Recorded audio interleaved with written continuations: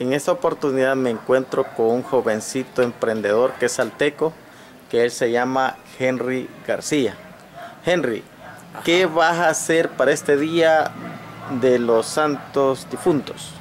Eh, primero Dios desempeñarme y a ver de qué manera puedo progresar y sacar un poco de capital para ver de qué manera puedo mejorar mis ingresos.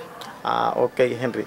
Bueno, cuéntanos eh, cuáles son las tarifas que, que vas a tener. Eh, para empezar, de las tumbas que son de una cruz, que son pequeñas, cuesta 2.50, eh, con todo incluido, todo tipo de letras, y las que son más grandes, que estamos hablando de 6 y 7.50, con todo tipo de letras que ellos quieran.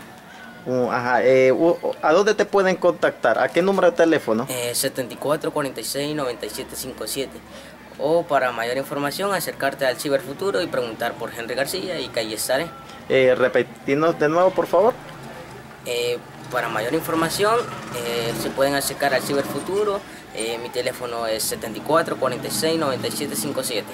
Va, eh, tengo entendido que ya mañana vas a ir también. Sí, mañana vamos a comenzar y ojalá que todo nos salga bien.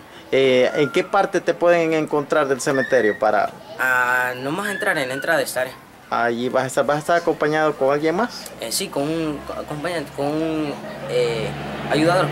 Ok, Henry.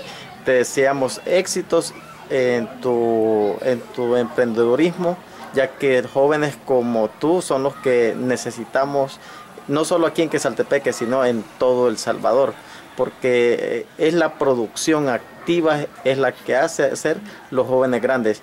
Y para todos los quesaltecos que están viendo este video, así como Henry, hay otros muchachos que van a andar allí, así que los animamos para el 2 de noviembre que se acerquen a estos muchachos y darles un trabajo. Por lo menos ya saben que ellos de esta manera pueden llevar un poco de dinero más a sus hogares. Muchas gracias, Henry. Bueno,